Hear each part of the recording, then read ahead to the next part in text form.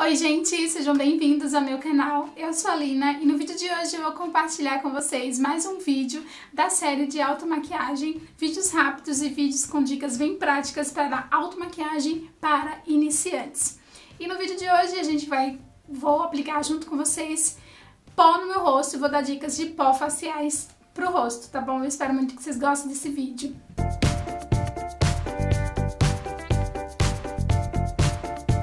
começar a compartilhar com vocês, gente, esse vídeo, eu vou pedir para você se inscrever no canal embaixo, por acaso você ainda não é inscrito, se inscreve no canal, aperta no botão aí vermelho embaixo, inscrever-se e vem fazer parte dessa família que está crescendo cada vez mais rumo aos mil inscritos, se Deus quiser.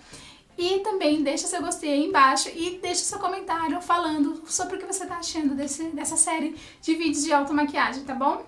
Então bora lá conferir o como eu aplico pó no meu rosto, dicas para aplicar pó no rosto para iniciantes. Se você caiu nesse vídeo de paraquedas assim, né, e não sabe da, dos outros vídeos de automaquiagem que eu tenho aqui no canal sobre essa série, eu tenho uma série de vídeos de automaquiagem que eu comecei faz alguns dias, que falando de automaquiagem para iniciantes. Tem um vídeo de pincéis, um kit de pincéis para automaquiagem em iniciantes.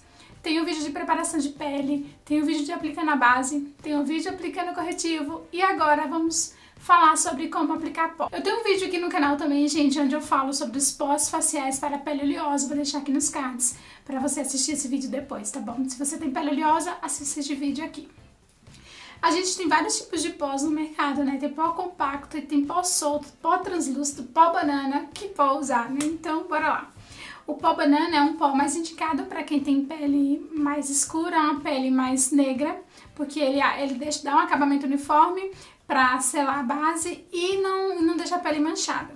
E tem o pó translúcido também, que é o pó branquinho, que eu tenho esse aqui da, da Luisance, que é um pó que ele é indicado mais para quem tem peles claras, sabe? Porque ele vai deixar um acabamento uniforme, vai selar a base e também não vai manchar a base.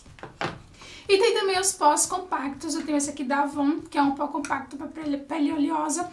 Ele é muito bom e é interessante quando a gente for comprar pós para o nosso rosto, o pó seja um pó fininho, um pó para não, pra não marcar as linhas de expressão, principalmente para quem tem mais de 30 anos, a gente é, já começa a aparecer alguns sinaizinhos, né? E alguns pós, se for um pó muito grosso, com partículas muito grossas, acaba marcando as linhas de expressão e fica com acabamento feio, sabe?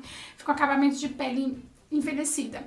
Então é bom você é bom a gente investir em pós com acabamento com partículas bem fininhas, com partículas bem imperceptíveis, sabe? Bem fininho mesmo. Eu tenho esse aqui também da Renata Mais, que é da Renata Mais Parela, que ele é um pó bom pra aplicar nas olheiras, pra selar, selar as olheiras e ele não tem cobertura, ele não adiciona cobertura, ele é mais pra selar a maquiagem mesmo. Então na questão do pó, pra, se o pó precisa ter cobertura ou não, vai depender de você. Eu geralmente gosto de pós que não adicionem cobertura, porque a cobertura eu já consigo com a base. O pó eu uso mesmo pra selar a maquiagem, pra selar a base, pra que a, a maquiagem dure mais no rosto. Então se você é, tem esse intuito também só de, de o pó pra selar, selar a maquiagem, então não precisa você é, comprar um pó de cobertura. Você pode comprar um pó translúcido, um pó banana, um pó só pra selar a maquiagem mesmo, tá?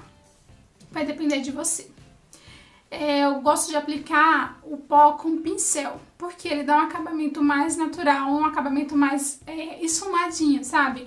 Aplicar o, o pó com esponja, eu não gosto muito porque ele acaba depositando muito produto minha, na minha pele, tá? Eu não gosto. Então, se você gosta, você aplica, mas eu aconselho aplicar com pincel fofão, assim, de cerdas naturais, que o acabamento fica mais bonito. Todos esses pós que eu mostrei pra vocês, eles são maravilhosos e eu gosto demais deles. Tem épocas que eu uso mais um, tem épocas que eu uso mais outro. E no vídeo de hoje eu vou usar esse da Renata pra selar a maquiagem, eu quero só selar mesmo, tá? Então vou usar esse da Renata Mais. As minhas olheiras, eu apliquei corretivo no vídeo anterior e eu já selei as minhas olheiras. Então, se você não, não assistiu esse vídeo, eu vou deixar aqui pra você assistir, tá? Então, esse, esse pó aqui eu vou aplicar no rosto só pra selar a base mesmo. Então, eu vou pego o produto. Como ele não adiciona cor, eu não me preocupo tanto com a quantidade que eu pego. Porque ele vai só, ele vai só selar a maquiagem e vai fazer com que ela dure mais.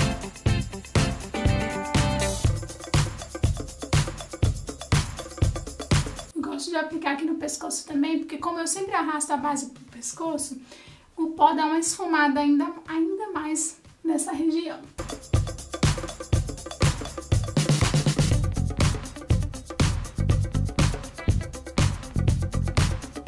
Prontinho, gente. Apliquei o pó e a pele fica super sequinha, né? super... A base não transfere. O pó ajuda nisso, né? Ajuda a selar a base no rosto para que ela não fique transferindo, para que a maquiagem dure. Então é isso. Espero muito que vocês tenham gostado desse vídeo de auto maquiagem aplicando pó juntinho com vocês. Fiquem todos com Deus. grande beijo e até o próximo vídeo. Tchau, tchau.